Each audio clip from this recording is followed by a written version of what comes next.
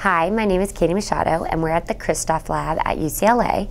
And I'm actually an undergrad, and I'm going to be graduating next week. And I'll be starting full time at the Christof Lab after that as a staff research associate here. I'm both the lab manager, so I oversee um, a lot of the administrative work here, but then I also help out on all of the projects. I'm just a helping hand wherever I can be. And here at the Christof Lab, we study cancer metabolism, and we study basically how the metabolism of a cell changes when it undergoes a disease state such as cancer. We also study it in other model systems such as viruses. So basically we're just looking at what changes in the cell.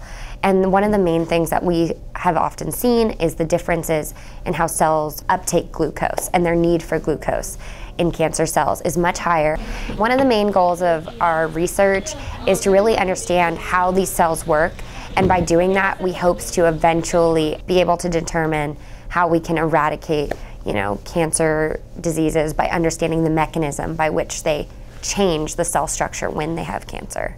Well, I am from a small town in Northern California called Morgan Hill. No one knows where it is, but it's very small. But um, it's just south of San Jose, and I just came to UCLA for my undergraduate degree, and I've loved LA ever since. My parents are not scientists. My mom studied political science and communications. Now she works for Chamber of Commerce.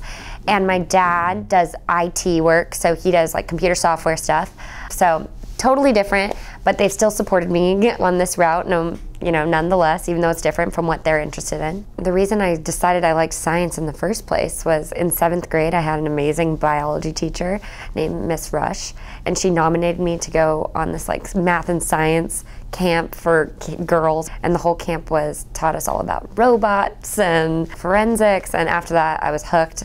Because science, I think, every day when you go into work, you you're looking to find the answer to some question. I feel like it's never ending, but that's kind of exciting. It's challenging, but it's exciting.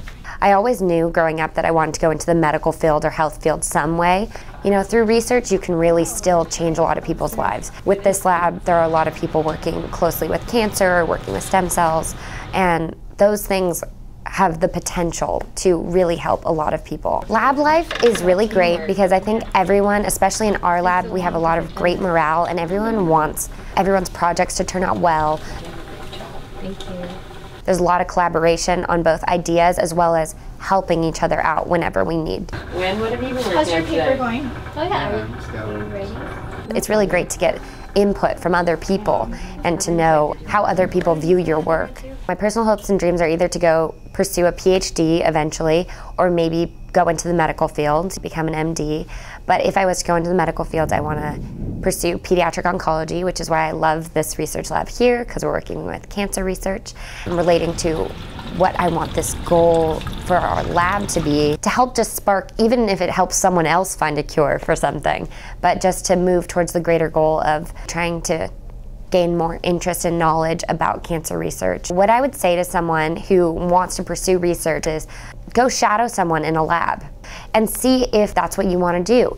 I think a common core value that you see across the board is people that do like to ask questions and find answers. For some people, they do the they study the same thing, you know, for their whole life, and it takes a lot of dedication to, you know, care so much about something and want to make an impact so much that you stick with it for 20, 30 years. So I think that's something that you see in a lot of scientists across the board.